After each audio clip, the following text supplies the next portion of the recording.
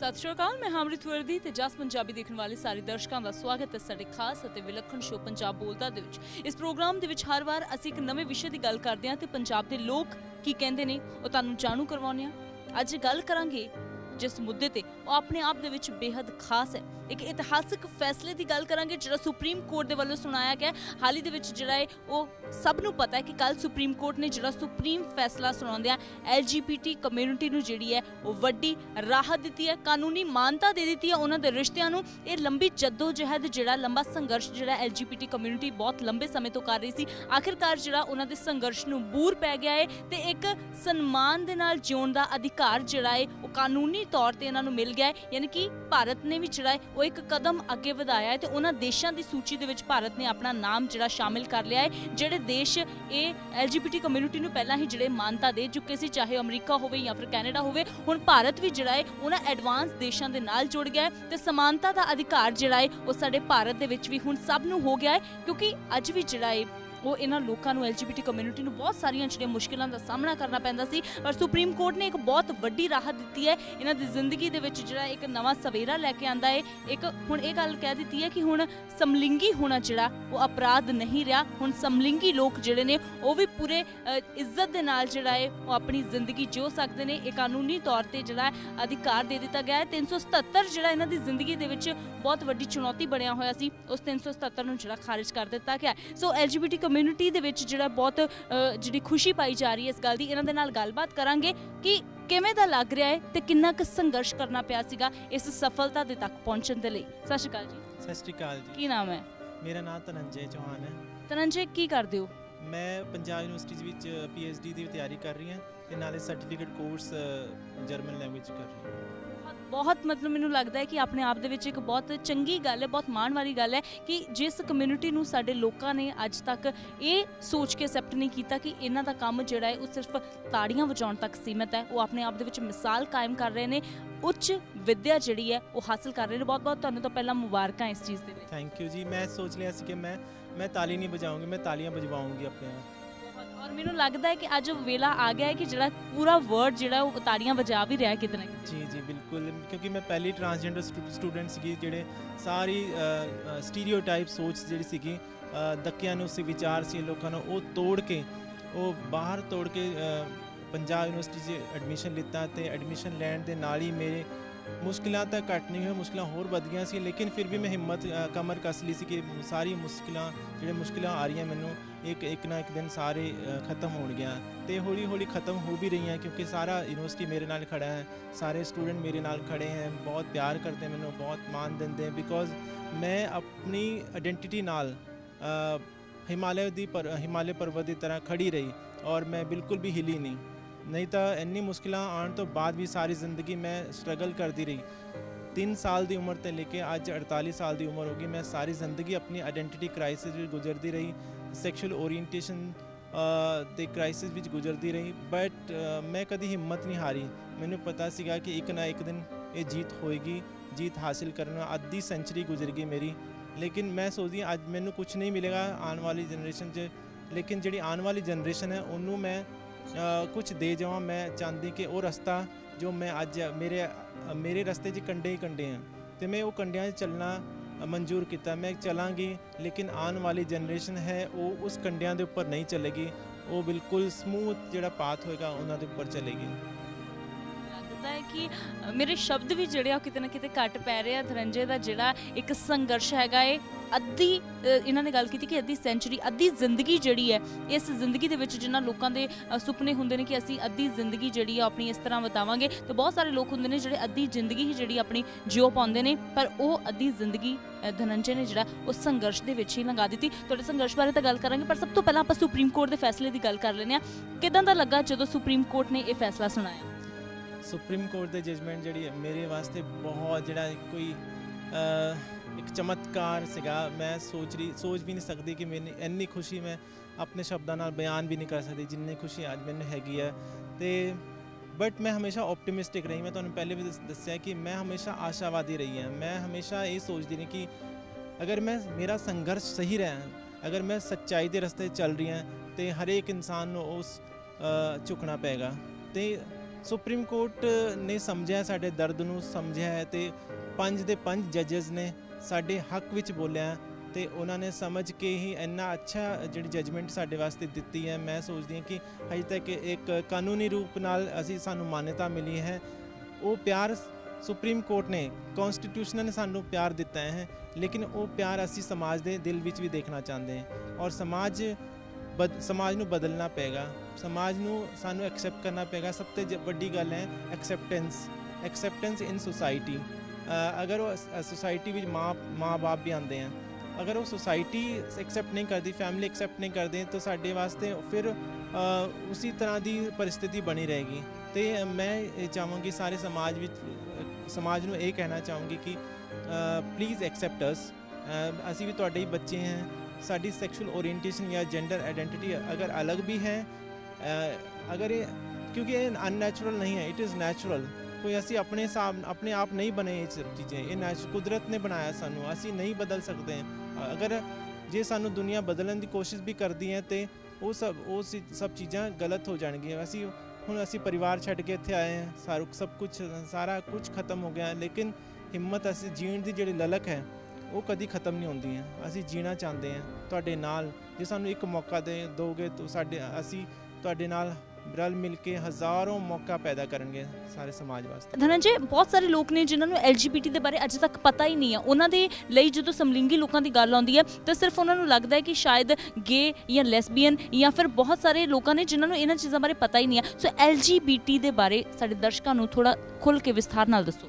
ਦੇਖੀਏ ਮਰਦ ਔਰ ਔਰਤ ਜਿਹੜੇ ਹੈ ਉਹ ਇਹ ਸਮਝਦੇ ਸੀਗੇ ਕਿ ਅਸੀਂ ਜੇ ਦੋ ਹੈ ਬਸ ਇਹੀ ਦੁਨੀਆ ਹੈ ਲੇਕਿਨ there is four type of sexuality ਚਾਰ ਤਰ੍ਹਾਂ ਦੀ ਸੈਕਸ਼ੁਅਲਿਟੀ ਹੈ ਸਭ ਤੋਂ ਪਹਿਲੇ ਹੈ ਹੈਟਰੋਸੈਕਸ਼ੁਅਲ ਜਿਹੜਾ ਇੱਕ ਮਰਦ ਔਰਤ ਵੱਲ ਔਰਤ ਮਰਦ ਵੱਲ ਆਕ- ਆਕਰਸ਼ਿਤ ਹੁੰਦੇ ਹੈ ਇਹ ਹੈਟਰੋਸੈਕਸ਼ੁਅਲਿਟੀ ਵੀ ਜਾਂਦੀ ਹੈ ਸੈਕਿੰਡ ਹੈ ਹੋਮੋਸੈਕਸ਼ੁਅਲਿਟੀ ਹੋਮੋਸੈਕਸ਼ੁਅਲਿਟੀ ਸੇਮ ਸੈਕਸ ਵਿੱਚ like male male female female ਇਹ ਹੋਮੋਸੈਕਸ਼ੁਅਲਿਟੀ ਵਿੱਚ ਆਉਂਦੇ ਇਹ ਇਨ- ਇਨਸਾਨ ਅ, ਇੱਕ ਦੂਸਰੇ ਵਿੱਚ ਸੇਮ ਸੈਕਸ ਸੇਮ ਲੈਂਗਿਕ ਸੇਮ ਲਿੰਗ ਨਾਲ ਅ, ਆਕਰਸ਼ਿਤ ਹੁੰਦੇ ਆ। ਤੇ ਤੀਸਰੀ ਹੈ ਬਾਇਸੈਕਸ਼ੁਅਲਿਟੀ ਬਾਇਸੈਕਸ਼ੁਅਲਿਟੀ ਹੁੰਦੀ ਹੈ ਇੱਕ ਇਨਸਾਨ ਚਾਹੇ ਉਹ ਔਰਤ ਹੋਵੇ ਮਰਦ ਹੋ ਅਗਰ ਉਹ ਅ, ਜਿਸ ਤਰ੍ਹਾਂ ਇੱਕ ਅ, ਮਰਦ ਹੈ ਉਹ ਔਰਤ ਵੱਲ ਵੀ ਆਕਰਸ਼ਿਤ ਹੁੰਦਾ ਹੈ ਤੇ ਮ- ਮ- ਮਰਦ ਵੱਲ ਵੀ। ਇਸੇ ਤਰ੍ਹਾਂ ਇੱਕ ਔਰਤ ਹੈ ਉਹ ਔਰਤ ਵੱਲ ਵੀ ਆਕਰਸ਼ਿਤ ਹੁੰਦੀ ਹੈ ਔਰ ਮਰਦ ਵੱਲ ਉਹਨੂੰ ਬਾਇਸੈਕਸ਼ੁਅਲਿਟੀ ਕਹਿੰਦੇ ਆ। ਦੋਨੋਂ ਤਰਫ ਆਕਰਸ਼ਿਤ ਹੋਣਾ।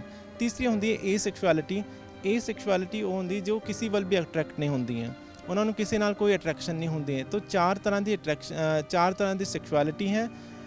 ਸੈਕਸ ਮੀਨਸ ਮੈਂ ਕਿਸ ਸਰੀਰ ਨੂੰ ਲੈ ਕੇ ਪੈਦਾ ਹੁੰਦੀ ਹਾਂ? ਜੈਂਡਰ ਇਜ਼ ਮੈਂ ਕਿਸ ਆਪਣੀ ਆਇਡੈਂਟੀ ਨੂੰ ਜੈਂਡਰ ਮੀਨਸ ਮੈਂ ਆਪਣੇ ਆਪ ਨੂੰ ਕਿਆ ਆਇਡੈਂਟੀਫਾਈ ਕਰਦੀ ਹਾਂ? ਤੀਸਰੀ ਹੈ ਸੈਕਸ਼ੁਅਲਿਟੀ ਸੈਕਸ਼ੁਅਲਿਟੀ ਮੀਨਸ ਮੈਂ ਕਿਸ ਇਨਸਾਨ ਵੱਲ ਅਟਰੈਕਟ ਹੁੰਦੀ ਹੈ ਮੇਲ ਜਾਂ ਵੱਲ ਜਾਂ ਫੀਮੇਲ ਵੱਲ, ਜਾਂ ਦੋਨੋਂ ਵਿੱਚ ਨਹੀਂ। ਸੋ ਇਹ ਤਿੰਨ ਚੀਜ਼ਾਂ ਹੈ। ਜੈਂਡਰ ਆਇਡੈਂਟੀਟੀ ਵਿੱਚ ਲਾਈਕ ਮੈਂ ਅਗਰ ਮੇਲ ਬਾਡੀ 'ਚ ਪੈਦਾ ਹੋਈ ਹਾਂ ਸੋ ਜਦੋਂ ਅਸੀਂ ਪੈਦਾ ਹੁੰਦੇ ਹਾਂ, ਇੱਕ ਸਰੀਰ ਨੂੰ ਲੈ ਕੇ ਪੈਦਾ ਹੁੰਦੇ ਉਸ ਵਿੱਚ ਇੱਕ ਆਦਮੀ ਜਾਂ ਔਰਤ ਨਹੀਂ ਹੁੰਦਾ, ਕੋਈ ਨੇਚਰ ਜਾਂ ਕੁਦਰਤ ਸਟੈਂਪ ਲਗਾ ਕੇ ਨਹੀਂ ਭੇਜਦੀ ਉਸ ਇਨਸਾਨ ਨੂੰ ਕਿ ਇਹ ਲੜਕਾ ਆ ਗਿਆ ਜਾਂ ਇਹ ਲੜਕੀ ਆ ਗਈ ਹੈ। ਸਿਰਫ ਇਨਸਾਨ ਪੈਦਾ ਹੁੰਦਾ ਹੈ। ਔਰ ਇਸੀ ਦੀ ਕਮੀ ਅੱਜ ਇਨਸਾਨ ਨੂੰ ਇਨਸਾਨ ਨਹੀਂ ਸਮਝਿਆ ਜਾਂਦਾ। ਜੇ ਜਦੋਂ ਪੈਦਾ ਹੁੰਦਾ ਹੈ ਤੇ ਪੈਦਾ ਹੁੰਦੇ ਹੀ ਉਸ ਦੇ ਜੈਂਡਰ ਨਿਰਧਾਰਿਤ ਕਰ ਦਿੰਦੇ ਸਮਾਜ। ਉਹ ਉਹ ਬੱਚਾ ਖੁਦ ਨਹੀਂ ਕਰਦਾ ਉਹ ਜੈਂਡਰ ਆਪਣਾ ਨਿਰਧਾਰਿਤ। ਉਦੋਂ ਤੋਂ ਹੀ ਮੈਨੂੰ ਲੱਗਦਾ ਹੈ ਕਿ ਡਿਸਕ੍ਰਿਮੀਨੇਸ਼ਨ ਹੋਣਾ ਸ਼ੁਰੂ ਹੋ ਰਿਹਾ ਕਿਉਂਕਿ ਬੱਚੇ ਦੀ ਮਰਜ਼ੀ ਤੋਂ ਬਿਨਾ ਉਸ ਦਾ ਜੈਂਡਰ ਨਿਰਧਾਰਿਤ ਕਈ ਦੇਸ਼ਾਂ 'ਚ ਹਜੇ ਜੈਂਡਰ ਨਹੀਂ ਲਿਖਿਆ ਜਾਂਦਾ ਹੁਣ। ਜਦੋਂ ਬੱਚਾ ਪੈਦਾ ਹੁੰਦਾ ਤੇ ਉਸ ਤੇ ਸਿਰਫ ਉਸ ਬਾਡੀ ਦੀ ਐਨਾਟਮੀ ਜਾਂ ਉਹਦਾ ਜੈਂਡਰ ਖਾਲੀ ਛੱਡ ਦਿੱਤਾ ਜਾਂਦਾ ਤਾਂ ਕਿ ਉਹ ਬੱਚਾ ਖੁਦ ਡਿਸਾਈਡ ਕਰੇ ਕਿ ਉਹ ਕੌਣ ਹੈ so gender is socially constructed ਇਹ ਸਮਾਜਿਕ ਪਹਿਚਾਨ ਹੈ ਔਰ ਸਮਾਜ ਇਸ ਨੂੰ ਪਹਿਚਾਨਦੇ ਸਮਾਜ ਜਦੋਂ ਬੱਚਾ ਪੈਦਾ ਹੁੰਦਾ ਉਹਦੇ ਨਾਲ ਉਹਦਾ ਜੈਂਡਰ ਉਹਦਾ ਸੈਕਸ ਉਹਦਾ ਧਰਮ ਉਹਦੇ ਜਾਤ ਪਾਤ ਸਭ ਕੁਝ ਉਸ ਨੂੰ ਦੇ ਦਿੱਤਾ ਜਾਂਦਾ ਹੈ ਇਹ ਆਪਾਂ ਗੱਲ ਕੀਤੀ ਤੁਸੀਂ ਗੱਲ ਕਿਹਾ ਕਿ ਸਮਾਜ ਸਾਨੂੰ ਅਪਣਾਵੇ। ਅਸੀਂ ਲੋਕਾਂ ਦੀ ਗੱਲ ਕਰ ਰਹੇ ਹਾਂ ਕਿ ਆਮ ਲੋਕ ਤੁਹਾਨੂੰ ਅਪਣਾਉਣ। ਪਰ ਤੁਹਾਡੀ ਆਪਣੀ ਕਮਿਊਨਿਟੀ ਦੇ ਵਿੱਚ ਕੀ ਸਾਰੇ ਲੋਕਾਂ ਨੇ ਇੱਕ ਦੂਜੇ ਨੂੰ ਅਪਣਾਇਆ ਹੋਇਆ ਹੈ? ਇਹ ਵੀ ਬਹੁਤ ਬਦਕਿਸਮਤੀ ਹੈ ਕਿ ਸਾਡੀ ਆਪਣੀ ਕਮਿਊਨਿਟੀ ਵਿੱਚ ਵੀ ਐਕਸੈਪਟੈਂਸ ਨਹੀਂ ਹੈ ਇੱਕ ਦੂਸਰੇ ਨਾਲ। ਜਿਸ ਤਰ੍ਹਾਂ ਐਲਜੀਬੀਟੀ ਵਿੱਚ ਵੀ ਬਹੁਤ ਸਾਰੇ ਡਿਫਰੈਂਸਸ ਹੈ ਇੱਕ ਦੂਸਰੇ ਨੂੰ ਐਕਸੈਪਟ ਨਹੀਂ ਕਰਦੇ। ਲਾਈਕ ਗੇ ਔਰ ਟਰਾਂਸਜੈਂਡਰ ਵਿੱਚ ਬਹੁਤ ਜ਼ਿਆਦਾ ਪ੍ਰੋਬਲਮ ਹੈ। और ट्रांसजेंडर और हिजड़ा भी, भी बहुत सारी प्रॉब्लम्स हैं। एक दूसरे को एक्सेप्ट नहीं कर पा रहे हैं क्योंकि वो भी उसी समाज से निकले हैं जिस समाज से सारे लोग हैं। सो जिस जिस तरह की एजुकेशन रही उसी तरह अपब्रिंगिंग जिस तरह की उसी तरह से वो इंसान बन गए हैं। प्रॉब्लम है एजुकेशन दी। सारे नाल L G B T community ਹੋ ਚਾਹੇ ਉਹ ਆਦਮੀ ਔਰਤ ਹੋ ਸਾਰਿਆਂ ਨਾਲ एजुकेशन ਦੀ प्रॉब्लम है। एजुकेशन ਮੀਨਸ असी इंसान इंसान बनाना नहीं सिखा रहे हैं। असी उन्होंने सिर्फ़ इंजीनियर बनाना सिखा रहे हैं या डॉक्टर बनाना। बट मेरे हिसाब ਹਿਸਾਬ ਸਭ ਤੋਂ ਪਹਿਲਾਂ ਐਜੂਕੇਸ਼ਨ ਦਾ ਮਤਲਬ ਹੈ ਕਿ ਉਸ ਉਸ ਉਸ ਨੂੰ ਐਜੂਕੇਸ਼ਨ ਦਾ ਮਤਲਬ ਹੈ ਉਸ ਬੱਚੇ ਨੂੰ ਇਨਸਾਨ ਬਣਾਉਣਾ ਸਿਖਾਇਆ ਜਾਂਦਾ ਜਾਵੇ। ਨਾ ਕਿ ਉਹਨੂੰ ਕਿ ਰੋਟੀ ਰੋਜੀ ਰੋਟੀ ਦੀ ਕਮਾਂਡ ਜਾਂ ਇਸ ਦੁਨੀਆ ਵਿੱਚ ਵਿਚਰਨ ਦੀ ਮਸ਼ੀਨ ਬਣਾਇਆ ਜਾਵੇ। ਬਿਲਕੁਲ ਇੱਕ ਸੰਦੇਸ਼ ਜਿਹੜਾ ਹੈ ਉਹ ਸਾਰੇ ਲੋਕਾਂ ਨੂੰ ਤੁਸੀਂ ਕੀ ਦੇਣਾ ਚਾਹੋਗੇ? ਮੈਂ ਇਹ ਕਹਿਣਾ ਚਾਹੂੰਗੀ ਕਿ be human and respect humanity so ਇਹ ਸਭ ਤੋਂ ਸ਼ਾਰਟ ਹੈ ਕਿ ਇਨਸਾਨ ਬਣੋ ਔਰ ਇਨਸਾਨੀਅਤ ਦਾ ਰਿਸਪੈਕਟ ਕਰੋ ਇਨਸਾਨੀਅਤ ਹੀ ਸਭ ਤੋਂ ਵੱਡੀ ਇੱਕ ਪੂੰਜੀ ਹੈ ਜਦ ਤੱਕ ਜਦ ਤੱਕ ਇਨਸਾਨ ਨਹੀਂ ਬਣੋਗੇ ਤਾਂ ਦੂਸਰੇ ਇਨਸਾਨ ਨੂੰ ਨਹੀਂ ਸਮਝੋਗੇ ਸੈਕਿੰਡ ਮੈਂ ਇਹ ਸੰਦੇਸ਼ ਦੇਣਾ ਚਾਹੁੰਦੀ ਹਾਂ ਕਿ ਐਮਪੈਥੈਟਿਕਲ ਅਪਰੋਚ ਅਪਣਾਇਆ ਜਾਏ ਕਿ ਦੂਸਰੇ ਦੇ ਸ਼ੂਜ਼ 'ਚ ਪਾਉਂ ਡਾਲ ਪੈਰ ਪਾ ਕੇ ਦੇਖੋ ਕਿ ਉਹਨੂੰ ਕਿੰਨਾ ਦਰਦ ਹੁੰਦਾ ਹੈ ਤਾਂ ਹੀ ਤੁਹਾਨੂੰ ਪਤਾ ਲੱਗਿਆ ਕਿ ਉਹ ਇਨਸਾਨ ਕਿੰਨਾ ਸਫ਼ਰ ਕਰ ਰਿਹਾ ਉਸ ਜ਼ਿੰਦਗੀ ਨੇ ਉਸ ਇਨਸਾਨ ਨੇ ਸਾਰੀ ਜ਼ਿੰਦਗੀ ਸਫ਼ਰ ਕੀਤਾ ਹੈ ਉਸ ਇਨਸਾਨ ਨੇ ਸਾਰੀ ਜ਼ਿੰਦਗੀ ਸੰਘਰਸ਼ ਕੀਤਾ ਹੈ ਸਿਰਫ ਆਪਣੀ ਪਹਿਚਾਨ ਲਈ। ਸੰਘਰਸ਼ ਤਾਂ ਧਨੰਜੇ ਬਹੁਤ ਜ਼ਿਆਦਾ ਕੀਤਾ ਤੁਹਾਨੂੰ ਸਾਰਿਆਂ ਨੂੰ ਕਰਨਾ ਪੈਂਦਾ ਪਰ ਕਦੇ ਉਹ ਮੋੜ ਕਦੋਂ ਆਇਆ ਜਦੋਂ ਤੁਹਾਨੂੰ ਵੀ ਇਦਾਂ ਦਾ ਫੀਲ ਹੋਣ ਲੱਗੇ ਕਿ ਹੁਣ ਜਿਹੜਾ ਉਹ ਬਹੁਤ ਜ਼ਿਆਦਾ ਹੋ ਰਿਹਾ ਟੁੱਟ ਟੁੱਟ ਕਦੋਂ ਫੀਲ ਹੋਇਆ ਕਿ ਜਦੋਂ ਮੈਂ ਟੁੱਟ ਰਿਹਾ ਮੈਨੂੰ ਮੇਰੇ ਜ਼ਿੰਦਗੀ 'ਚ ਬਹੁਤ ਸਾਰੇ ਇਦਾਂ ਦੇ ਮੋੜ ਆਏ ਇਸ ਤਰ੍ਹਾਂ ਫੈਮਿਲੀ ਦੀ ਸਭ ਤੋਂ ਵੱਡੀ ਪ੍ਰੋਬਲਮ ਸੀਗੀ ਫੈਮਿਲੀ ਐਕਸੈਪਟੈਂਸ ਨਹੀਂ ਸੀਗੀ। ਫੈਮਿਲੀ ਨੇ ਐਕਸੈਪਟ ਨਹੀਂ ਕੀਤਾ ਉਹ ਸਭ ਤੋਂ ਵੱਡਾ ਟੁੱਟ ਸੀਗੀ ਵੀ ਦਿਲ ਟੁੱਟ ਜਾਂਦਾ ਹੈ, ਜਾਂ ਫਿਰ ਸਮਾਜ, ਫਿਰ ਅੜੋਸ ਪੜੋਸ ਦੇ ਹੈ, ਰਿਸ਼ਤੇਦਾਰ, ਉਹ ਰਿਸ਼ਤੇ ਨਾਤੇ ਛੱਡ ਦਿੰਦੇ ਹੈ। ਇਹ ਇਸ ਨਾਲ ਦਿਲ ਟੁੱਟ ਜਾਂਦਾ ਕਿ ਮਤਲਬ ਮੈਂ ਇਨਸਾਨ ਹਾਂ, ਮੈਂ ਉਹੀ ਇਨਸਾਨ ਹਾਂ ਜੋ ਪਹਿਲੇ ਵੀ ਐਕਸੈਪਟ ਕਰਦੇ ਸੀ, ਹੁਣ ਕਿਉਂ ਨਹੀਂ ਐਕਸੈਪਟ ਕਰਦੇ? ਮੈਂ ਕੋਈ ਬਦਲ ਤਾਂ ਨਹੀਂ ਗਈ ਹਾਂ, ਮੈਂ ਕੋਈ ਜਾਨਵਰ ਤਾਂ ਨਹੀਂ ਬਣ ਗਈ ਹਾਂ। ਸੋ ਇਹ ਸਭ ਚੀਜ਼ਾਂ ਫਿਰ ਸੈਕਿੰਡ ਜਦੋਂ ਮੇਰੇ ਇੱਕ ਮੇਰਾ ਕਿਡਨੈਪਿੰਗ ਹੋ ਗਈ ਸੀਗੀ। ਸੋ ਫਿਰ ਮੇਰਾ ਰੇਪ ਹੋਇਆ ਐਂਡ 20 25 ਮੁੰਡਿਆਂ ਨੇ ਰੇਪ ਕੀਤਾ।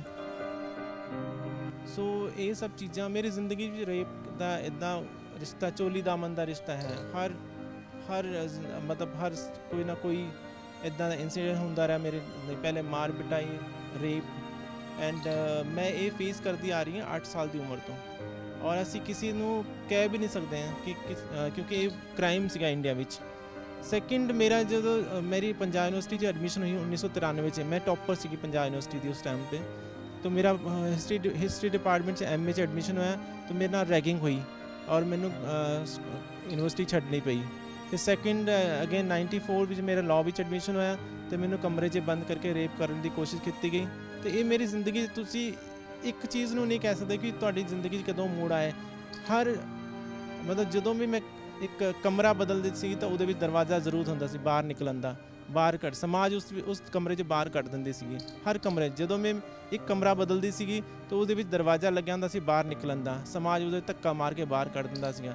ਸੋ ਮੇਰੀ ਜ਼ਿੰਦਗੀ 'ਚ ਇੰਨੇ ਦਰਵਾਜ਼ੇ ਹੈ ਇੰਨੇ ਖਿੜਕੀਆਂ, ਇੰਨੇ ਛੇਦ ਹੈ, ਉਹ ਇੰਨੇ ਨਾਸੂਰ ਬਣੇ ਹੈ, ਤੋ ਉਸ ਉਸ ਦਾ ਦਰਦ ਹੁਣ ਸੁਪਰੀਮ ਕੋਰਟ ਨੇ ਉਸ ਨਾਸੂਰ ਨੂੰ ਕੱਢ ਦਿੱਤਾ। ਜਿਹੜਾ ਕੰਡਾ ਬੜਿਆ ਸੀਗਾ ਨਾ, ਉਹ ਕੰਡਾ ਕੱਢ ਦਿੱਤਾ। ਹੁਣ ਸਕੂਨ ਮਹਿਸੂਸ ਹੋ ਰਿਹਾ ਕਿ yes I am a human being. Now I am very, I am eh, independent now. ਮੈਂ ਆਜ਼ਾਦ ਹੋ ਗਈ ਹਾਂ ਹੁਣ ਅੱਜ ਸਾਰਿਆਂ ਦੇ ਬਰਾਬਰ ਸਮਾਨਤਾ ਦਾ ਅਧਿਕਾਰ ਮਿਲ ਗਿਆ ਅਧਿਕਾਰ ਜਿਹੜਾ ਹੈ ਉਹ ਦੇਸ਼ ਦੀ ਸਰਵ ਉੱਚ ਅਦਾਲਤ ਸੁਪਰੀਮ ਕੋਰਟ ਨੇ ਦਿੱਤਾ ਹੈ ਸੁਪਰੀਮ ਕੋਰਟ ਦੇ ਇਸ ਇਤਿਹਾਸਿਕ ਫੈਸਲੇ ਤੋਂ ਬਾਅਦ ਸਮਲਿੰਗੀ ਲੋਕਾਂ ਦੇ ਵਿੱਚ ਜਿਹੜਾ ਉਹ ਬਹੁਤ ਖੁਸ਼ੀ ਦੀ ਲਹਿਰ ਪਾਈ ਜਾ ਰਹੀ ਹੈ ਹਾਲਾਂਕਿ ਇਹਨਾਂ ਦਾ ਜੀਵਨ ਕਿੰਨੇ ਕੁ ਜ਼ਿਆਦਾ ਸੰਘਰਸ਼ ਨਾਲ ਭਰਿਆ ਸੀਗਾ ਉਹ ਇਸ ਤੋਂ ਪਹਿਲਾਂ ਧਨੰਜੇ ਜਿਹੜਾ ਹੈ ਉਹ ਬਖੂਬੀ ਬਿਆਨ ਕਰ ਚੁੱਕੇ ਸੀ ਸੋ ਇਹਨਾਂ ਦੇ ਨਾਲ ਗੱਲਬਾਤ ਕਰਾਂਗੇ ਹੋਰ ਵੀ ਲੋਕਾਂ ਦੇ ਨਾਲ ਕਿ ਸੁਪਰੀਮ ਕੋਰਟ ਦਾ ਫੈਸਲਾ ਜਿਹੜਾ ਹੈ ਉਹ ਇਹਨਾਂ ਨੂੰ ਕਿਸ ਤਰ੍ਹਾਂ ਦੀ ਰਾਹਤ ਦੇ ਰਿਹਾ ਹੈ ਸਤਿ ਸ਼੍ਰੀ ਅਕਾਲ सत श्रीकाल की नाम है मेरा नाम ओशीन है और मैं उत्तराखंड से बिलोंग करती हूँ और मैं पंजाब यूनिवर्सिटी में ट्रांसजेंडर स्टूडेंट हूँ वुमेन स्टडीज़ में ਵੂਮਨ ਸਟੱਡੀਜ਼ ਕਰ ਰਹੇ ਹੋ ਤੁਸੀਂ ਉਹ ਚੀਜ਼ ਜਿਹਨੂੰ ਲੈ ਕੇ ਅੱਜ ਤੱਕ ਮੈਨੂੰ ਲੱਗਦਾ ਹੈ ਕਿ ਸਭ ਤੋਂ ਵੱਧ ਮੁਸ਼ਕਲਾਂ ਦਾ ਸਾਹਮਣਾ ਤੁਹਾਨੂੰ ਕਰਨਾ ਪਿਆ हाँ चीज़ों का सामना तो शुरू से ही करना पड़ा क्योंकि दुख जो है वो हमारा तो चोली दामन का साथ है पैदा होने के बाद से लेकर आज तक मेरी एज जो है वो twenty one and half years हो चुका है और इस दौरान मैंने काफ़ी स्ट्रगल किया अपनी लाइफ में अपने जेंडर आइडेंटिटी को लेके अ, बाहर की सोसाइटी के साथ साथ के एक सुप्रीम कोर्ट का तो एक अलग लड़ाई था 377 लेकिन उससे पहले ये एक बहुत बड़ी जंग, एक बहुत बड़ी लड़ाई हम अपनी फैमिलीज़ में, अपने घर में लड़के आ चुके हैं। अपनी एक्सेप्टेबिलिटी को लेके जेंडर क्राइसिस को लेके फैमिली एक्सेप्टेबिलिटी सोसाइटी एक्सेप्टेबिलिटी और फिर हमें डिस्क्रिमिनेट किया जाता है डोमिनेट किया जाता है। और एक टाइम पे आके हम फैमिली से अलग हो जाते हैं, जो कि सेम मेरे साथ हुआ। But chandigarh is doing a lot and lot of sensitization and awareness program for the lgbt community.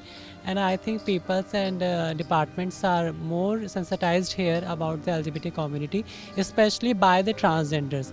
Because lgb can be hidden or can be uh, visible but transgenders are uh, always visible in every form in every pride walk in everything they are visible so uh, the visibility of transgenders are most important uh, in removing this 377 section. And after removing this 377 section we are feeling that uh, we are not criminals.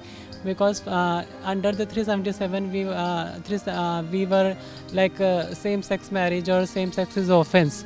So now we are feeling free that we are not criminals so that is a very good decision made by the supreme court and i respect that decision. Implementations होने हैं 377 में आगे marriage को लेके और अ, कौन mail होगा कौन फीमेल होगा चाइल्ड अडॉप्शन को लेके। सो so, ये सब भी हो जाएगा अगर इसको इतना बड़ा मुद्दा ना बनाया जाए। क्योंकि जो सबसे बड़ा पैनल कोड था 377 वो रिमूव कर दिया गया तो डॉक्यूमेंट्स में आई थिंक लाने के लिए इतना अब झोल मेल नहीं करना चाहिए गवर्नमेंट को। ਜਿਹੜਾ ਹੈ। ਉਹ ਅੱਧੀ ਜੰਗ ਜਿੱਤ ਲਈ ਹੈ ਪਰ ਅਜੇ ਵੀ ਜਿਹੜਾ ਹੈ ਉਹ ਸੰਘਰਸ਼ ਜਿਹੜਾ ਉਹ ਜਾਰੀ ਹੈ ਤੇ ਇਸੇ ਤਰ੍ਹਾਂ ਜਿਹੜੀ ਹੈ ਇਹ ਲੜਾਈ ਉਹ ਅੱਗੇ ਜਾਰੀ ਰੱਖਣਗੇ ਤਾਂ ਜੋ ਜਿਹੜਾ ਹੈ ਉਹ ਹੋਰ ਜਿਹੜੀਆਂ ਮੁਸ਼ਕਲਾਂ ਨੇ ਅੱਗੇ ਦੀਆਂ ਉਹ ਵੀ ਇਹਨਾਂ ਦੀਆਂ ਖਤਮ ਹੋ ਜਾਣ। ਕੀ ਨਾਮ ਹੈ? ਜੀ ਮੇਰਾ ਨਾਮ ਪੂਰਵ ਹੈ। ਪੂਰਵ ਕੀ ਕਰਦੇ ਹੋ ਇੱਥੇ? ਮੈਂ ਸਟੂਡੈਂਟ ਹਾਂ ਤੇ ਪਲੱਸ ਸੋਸ਼ਲ ਐਕਟਿਵਿਸਟ। ਯਾ ਸੋਸ਼ਲ ਐਕਟਿਵਿਸਟ ਜਦੋਂ ਗੱਲ ਆਉਂਦੀ ਹੈ ਸੋਸ਼ਲ ਦੀ ਸਮਾਜ ਦੀ ਉਹੀ ਸਮਾਜ ਜਿਹੜਾ ਤੁਹਾਨੂੰ ਅਸੈਪਟ ਨਹੀਂ ਕਰ ਰਿਹਾ ਪਰ ਫਿਰ ਵੀ ਤੁਸੀਂ ਉਸ ਸਮਾਜ ਦੇ ਲਈ ਕੰਮ ਕਰ ਰਹੇ ਹੋ ਜੀ ਬਿਲਕੁਲ ਮੈਂ ਉਹਨਾਂ ਦੇ ਉਹਨਾਂ ਦੇ मतलब कि उनके लिए नहीं कर रहा हूँ मैं अपने लिए कर रहा हूँ मतलब कि अपनी कम्युनिटी के लिए कर रहा हूँ एल कम्युनिटी के लिए जो हमारी कम्युनिटी है उनके लिए ज़्यादा काम कर रहा हूँ ਪੂਰਾ ਬੀਇੰਗ ਅ ਬॉय ਤੁਸੀਂ ਆਪਣੇ ਆਪ ਨੂੰ ਸਮਝਦੇ ਹੋ ਕਿਸ ਤਰ੍ਹਾਂ ਦੀਆਂ ਜਿਹੜੀਆਂ ਮੁਸ਼ਕਲਾਂ ਹੈ ਉਹ ਸਭ ਤੋਂ ਵੱਧ ਫੇਸ ਕਰਨੀਆਂ ਪੈਂਦੀਆਂ लाइक पहले तो जैसे कि अब मैं अपने आप को एज अ गे आइडेंटिफाई करता हूँ तो लोग तो यही समझते हैं कि गे का मीनिंग नहीं लोगों को अभी पता है। इवन मेरी फैमिली को नहीं पता कि गे होता क्या है। वो लोग ये सोचते हैं कि गे मतलब हिजड़ा हिजड़ा। और वो मतलब कि बच्चा गे निकला है तो बड़े होके साड़ी डाल के तालियाँ मार के गली गली घूमेगा और पैसे मांगेगा। सो so, मतलब कि पहले तो अभी जैसे कि सेक्शन थ्री सेवन सेवन हटा है तो अब लोगों को इतना तो पता चल जाएगा कि गे क्या होता है लेस्बियन क्या होता है बायसेक्सुअल्स क्या होता है। ट्रांसजेंडर के बारे में तो पहले ही लोगों को सबको पता है। मतलब कि पूरी ऑल ओवर द इंडिया ही सबको इवन पता है कि ट्रांसजेंडर क्या होता है। ਬਹੁਤ ਸਾਰੀਆਂ ਮੁਸ਼ਕਲਾਂ ਦਾ ਸਾਹਮਣਾ ਕਰਨਾ ਪਿਆ ਪਰ ਫਾਈਨਲੀ ਸੁਪਰੀਮ ਕੋਰਟ ਨੇ ਇੱਕ ਥੋੜਾ ਜਿਹਾ ਰਿਲੀਫ ਦਿੱਤਾ ਸੋ ਹਾਊ ਯੂ ਫੀਲ जी खुशी तो बहुत हुई है लाइक जैसे कि अब कल पता लगा कि अब तक लग रहा है कि हाँ एक तरह से सपना ही है मेरे लिए कि हाँ अब हमें फ्रीडम है कि हम कोई भी अपना मतलब कि पार्टनर चूज़ कर सकते हैं उसके साथ बाहर जा सकते हैं उसके साथ घूम सकते हैं कुछ भी कर सकते हैं ਹੁਣ ਆਜ਼ਾਦੀ ਜਿਹੜੀ ਹੈ ਉਹ ਆਜ਼ਾਦੀ ਇੱਕ ਆਜ਼ਾਦ ਨਾਗਰਿਕ ਵਜੋਂ ਦੇਸ਼ ਦੇ ਇਹ ਸਾਰੇ ਲੋਕ ਜਿਹੜੇ ਆ ਉਹ ਮਹਿਸੂਸ ਕਰਨ ਲੱਗੇ ਨੇ। ਕੀ ਨਾਮ ਹੈ? ਸਤਿ ਸ਼੍ਰੀ ਅਕਾਲ ਜੀ ਮੇਰਾ ਨਾਮ ਦਵਿੰਦਰ ਰਾਜਪੂਤ ਹੈ। ਬਿਲੋਂਗ ਕਰਦਾ ਜਲੰਧਰ ਤੋਂ ਪੰਜਾਬ। ਪੰਜਾਬੀ ਹੋ? ਹਾਂਜੀ। ਤੇ ਮੈਂ ਲਾਸਟ 7 ਸਾਲ ਤੋਂ ਚੰਡੀਗੜ੍ਹ 'ਚ ਰਹਿ ਰਿਹਾ। ਬਿਕੋਜ਼ ਆਫ ਥੈਟ ਮੇਰੀ ਫੈਮਿਲੀ ਮੈਨੂੰ ਕਿਕ ਆਊਟ ਕਰ ਦਿੱਤਾ ਸੀਗਾ। ਬਿਕੋਜ਼ ਮੈਂ ਗੇ ਆ ਸੋ ਗੇ ਦਾ ਮਤਲਬ ਉਹ ਨਹੀਂ ਸਮਝਦੇ ਕਿ ਗੇ ਕੀ ਚੀਜ਼ ਹੈ। ਉਹ ਸਮਝਦੇ ਕਦੋਂ ਤੋਂ ਜਿਹੜੀ ਇਹ ਫੀਲਿੰਗ ਤੁਹਾਡੇ ਚ ਡਿਵੈਲਪ ਹੋਣੀ ਸ਼ੁਰੂ ਹੋਈ ਸੀ? ਕਿੰਨੇ ਸਾਲ ਦੇ ਸੀ ਤੁਸੀਂ? 7 ਇਅਰ ਦਾ ਸੀਗਾ ਕਿ ਖੁਦ ਨੂੰ ਪਤਾ ਲੱਗਿਆ ਸੀ ਕਿ ਮੈਂ ਇਦਾਂ ਦਾ ਹਾਂ। ਬਟ ਫੀਲ ਇਹ ਹੁੰਦਾ ਸੀ ਕਿ ਮੈਂ ਇਦਾਂ ਦਾ ਕਿਉਂ ਹੈ? ਮੈਂ ਇਕੱਲਾ ਇਦਾਂ ਦਾ ਇਨਸਾਨ ਹਾਂ। ਬਟ ਜਦੋਂ ਬੱਚਾ ਹੌਲੀ ਹੌਲੀ ਹੌਲੀ ਅੱਗੇ ਵੱਧਦਾ ਹੈ ਜਦੋਂ ਆਪਣੀ ਟੀਨੇਜਰ ਏਜ ਆਉਂਦਾ ਹੈ 14 15 ਫਿਰ ਪਤਾ ਲੱਗਣ ਲੱਗਿਆ ਆਪਣੇ ਕੋਲ ਮੋਬਾਈਲ ਆ ਜਾਂਦਾ ਮੋਬਾਈਲ ਥਰੂ ਪਤਾ ਲੱਗਦਾ ਹੈ, ਮੈਂ ਇਕੱਲਾ ਨਹੀਂ ਆ ਮੇਰੇ ਜਿਹੇ ਹੋਰ ਬਹੁਤ ਜਿਹੇ ਆ। ਫਿਰ ਬੰਦਾ ਉਹਨਾਂ ਨਾਲ ਕੰਟੈਕਟ ਕਰਦਾ ਆਪਣੀ ਫੀਲਿੰਗਸ ਸ਼ੇਅਰ ਕਰਦਾ ਹੈ ਤੇ ਇਸ ਦੌਰਾਨ ਪਤਾ ਲੱਗਦਾ ਕਿ ਮੈਂ ਕੀ ਚੀਜ਼ ਹਾਂ। ਸਮਾਜ ਨੇ ਕਿੰਨੀ ਵਾਰ ਠੁਕਰਾਇਆ? ਸਮਾਜ ਦਾ ਪੈਰ ਪੈਰ ਤੇ ਠੁਕਰਾਉਂਦਾ ਹੈ। ਅਸੀਂ ਪਬਲਿਕਲੀ ਜਾਈਏ ਕਮੈਂਟਸ ਮਿਲਦੇ ਨੇ। ਹਰਾਸਮੈਂਟ ਹੁੰਦੀ ਸਾਡੇ ਨਾਲ, ਬਹੁਤ ਕੁਝ ਹੁੰਦਾ ਈਵਨ ਮੈਂ ਆਪਣੇ ਜਲੰਧਰ ਬੱਸ ਸਟੈਂਡ ਗਿਆ ਸੀਗਾ ਤੇ ਮੈਂ ਥੋੜਾ ਮੇਕਅਪ ਕੀਤਾ ਸੀ ਕਿਉਂਕਿ ਮੈਨੂੰ ਸ਼ੌਂਕ ਕਿ ਮੈਂ ਥੋੜਾ ਅਲੱਗ ਦਿਖਾਂ, ਮੈਂ ਮੇਕਅਪ ਕਰਾਂ। ਤਾਂ ਉਸ ਦੌਰਾਨ ਮੈਨੂੰ ਚਾਰ ਲੜਕਿਆਂ ਨੇ ਘੇਰਾ ਮੈਨੂੰ ਹਾਫ ਐਂਡ ਆਵਰ ਇੰਨੀ ਹਰਾਸਮੈਂਟ ਸਹਿਣੀ ਪਈ ਨਾ, ਉੱਥੇ ਕੁਦਰਤੀ ਰੱਬ ਦਾ ਰੂਪ ਮੇਰੇ ਕੋ ਆਇਆ, ਉਹਨੇ ਮੈਨੂੰ ਬਚਾਇਆ। ਤੇ ਉਸ ਅੱਧੇ ਘੰਟੇ 'ਚ ਮੈਂ ਬਹੁਤ ਕੁਝ ਸਿਆ ਇਹ ਅਸੀਂ ਕਹਿੰਦੇ ਆ ਹਮੇਸ਼ਾ ਕਿ ਇਸ ਸਮਾਜ ਦੇ ਵਿੱਚ ਲੋਕ ਦੁਸ਼ਮਣ ਨੇ ਪਰ ਇਨਸਾਨ ਹੀ ਇਨਸਾਨ ਦਾ ਦੁਸ਼ਮਣ ਬਣਿਆ ਹੋਇਆ ਇਹ ਚੀਜ਼ ਤੁਹਾਡੇ ਤੋਂ ਵੱਧ ਕੇ ਕੋਈ ਨਹੀਂ ਜਾਣ ਸਕਦਾ। ਨਹੀਂ ਜਾਣ ਸਕਦਾ। ਜੇ ਅਸੀਂ ਨਹੀਂ ਸੇਫ ਤਾਂ ਗਰਲਸ ਕਿੱਥੋਂ ਸੇਫ ਹੋ ਸਕਦੀਆਂ ਨੇ? ਅੱਜ ਕੱਲ ਨਾ ਗਰਲ ਸੇਫ ਨਾ ਲੈਸਬੀਅਨ ਨਾ ਗੇਸ ਕੋਈ ਸੇਫ ਨਹੀਂ ਅੱਜ ਕੱਲ ਹਰ ਆਪਾਂ ਗੱਲ ਕਰ ਰਹੇ ਹਾਂ ਕਿ ਚਲੋ ਇਹ ਸੰਘਰਸ਼ ਤੋਂ ਬਾਅਦ ਇੱਕ ਥੋੜੀ ਜਿਹੀ ਖੁਸ਼ੀ ਮਿਲੀ ਹੈ। ਸੁਪਰੀਮ ਕੋਰਟ ਦੇ ਫੈਸਲੇ ਤੋਂ ਬਾਅਦ ਕਿੱਦਾਂ ਦਾ ਫੀਲ ਹੋ ਰਿਹਾ? ਹੁਣ ਇੱਦਾਂ ਫਿਰ ਸਾਨੂੰ ਦੂਸਰਾ ਜਨਮ ਮਿਲਿਆ। ਕੱਲ ਤੋਂ ਬਾਅਦ ਸਾਨੂੰ ਇੱਦਾਂ ਲੱਗ ਰਿਹਾ ਕਿ ਸਾਨੂੰ ਦੂਸਰਾ ਜਨਮ ਮਿਲਿਆ। ਅਸੀਂ ਫ੍ਰੀडम ਲਈ ਆਜ਼ਾਦ ਆ, ਅਸੀਂ ਆਪਣੇ ਪਾਰਟਨਰ ਨਾਲ ਕਿਤੇ ਵੀ ਘੁੰਮ ਫਿਰ ਸਕਦੇ ਆ। ਅਗਰ ਕੋਈ ਸਾਨੂੰ ਕਮੈਂਟ ਕਰਦਾ ਬੁਲਿੰਗ ਕਰਦਾ ਅਸੀਂ ਉਸ ਬੁਲਿੰਗ ਦਾ ਪਲਟ ਕੇ ਜਵਾਬ ਦੇ ਸਕਦੇ ਆ। ਐਲਜੀਬੀਟੀ ਸਮਲਿੰਗੀ ਲੋਕਾਂ ਦਾ ਕੀ ਕਹਿਣਾ ਤਾਂ ਸੁਣ ਲਿਆ। ਹੁਣ ਮੇਨ ਸਟ੍ਰੀਮ ਜਿਨ੍ਹਾਂ ਨੂੰ ਕਿਹਾ ਜਾਂਦਾ ਹੈ, ਆਪਣੇ ਸਮਾਜ ਦਾ ਹਿੱਸਾ ਜਿਹੜੇ ਮੁੱਖ ਲੋਕ ਨੇ, ਉਹਨਾਂ ਦਾ ਕੀ ਕਹਿਣਾ ਹੈ? ਉਹ ਕੀ ਸੋਚਦੇ ਨੇ? ਉਹਨਾਂ ਦੀ ਸੋਚ ਜਾਣਨੀ ਬਹੁਤ ਜ਼ਰੂਰੀ ਹੋ ਜਾਂਦੀ ਹੈ। ਸੁਪਰੀਮ ਕੋਰਟ ਦਾ ਕੱਲ ਫੈਸਲਾ ਆਇਆ ਹੈ। 377 ਨੂੰ ਜਿਹੜਾ ਹੈ, ਉਹ ਕਰ ਦਿੱਤਾ, ਉਹਨਾਂ ਨੇ ਖਾਰਜ ਕਰ ਦਿੱਤਾ ਤੁਹਾਡੀ ਯੂਨੀਵਰਸਿਟੀ ਦੇ ਵਿੱਚ ਵੀ ਬਹੁਤ ਸਾਰੇ ਜਿਹੜੇ ਆ ਐਲਜੀਬੀਟੀ ਇੱਥੇ ਨਾਲ ਪੜ੍ਹਦੇ ਨੇ। ਸੋ, ਸਭ ਤੋਂ ਪਹਿਲਾਂ ਫੈਸਲੇ ਨੂੰ ਕਿਸ ਤਰ੍ਹਾਂ ਦੇਖਦੇ ਹੋ? ਦੇਖੋ, ਜੋ ਕੱਲ ਸੁਪਰੀਮ ਕੋਰਟ ਨੇ 377 ਜੋ ਧਾਰਾ ਉਹ ਅਬੋਲਿਸ਼ ਕੀਤੀ ਹੈ ਉਹਨਾਂ ਨੇ ਖੁਦ ਸੁਪਰੀਮ ਕੋਰਟ ਨੇ ਮੰਨਿਆ ਵੀ ਇਤਿਹਾਸ ਨੂੰ ਇਸ ਚੀਜ਼ ਨੂੰ ਜੋ ਗਲਤੀ ਆਪਣੀ ਮੰਨਣੀ ਚਾਹੀਦੀ ਹੈ ਇਤਿਹਾਸ ਨੂੰ, ਜੋ 150 ਸਾਲ ਤੋਂ ਵੱਧ ਜੋ ਅੰਗਰੇਜ਼ਾਂ ਦੁਆਰਾ ਥੋਪਿਆ ਗਿਆ ਸੀ ਇਹ, ਕਿਉਂਕਿ ਇਹ ਰਾਈਟ ਜਿਹੜੇ ਸਾਡੀ ਜੋ ਇਕੁਐਲਿਟੀ ਹੈ ਸਾਡੀ, ਠੀਕ ਹੈ, ਦੇਖੋ ਐਲਜੀਬੀਟੀ ਕਮਿਊਨਿਟੀ ਨੂੰ ਲੈ ਕੇ ਸਾਡੇ ਦੇਸ਼ ਦੇ ਲੋਕਾਂ ਦੇ ਅਲੱਗ-ਅਲੱਗ ਵਿਊ ਹੁੰਦੇ ਨੇ ਬਟ ਮੇਰਾ ਮੰਨਣਾ, ਮੇਰਾ ਅਗਲਾ, ਮੇਰਾ ਪਰਸਨਲ ਓਪੀਨੀਅਨ ਉਹ ਵੀ ਅਸੀਂ ਇੱਕ ਜਿੱਥੋਂ ਅਸੀਂ ਪੈਦਾ ਹੋਏ ਆ ਉਹ ਵੀ ਸਾਡੇ ਨਾਲ ਪੈਦਾ ਹੋਏ ਆ ਚਲੋ ਠੀਕ ਆ, ਆਪਾਂ ਮੈਡੀਕਲ ਟਰਮ 'ਚ ਇਹਨਾਂ ਨੂੰ ਐਲਜੀਬੀਟੀ ਕਹਿ ਦਿੰਦੇ ਆ ਕੁਝ ਕਮੀਆਂ ਰਹਿ ਜਾਂਦੀਆਂ ਨੇ ਬਟ ਸਾਡੇ ਨਾਲ ਹੀ ਪੈਦਾ ਹੋਏ ਨੇ।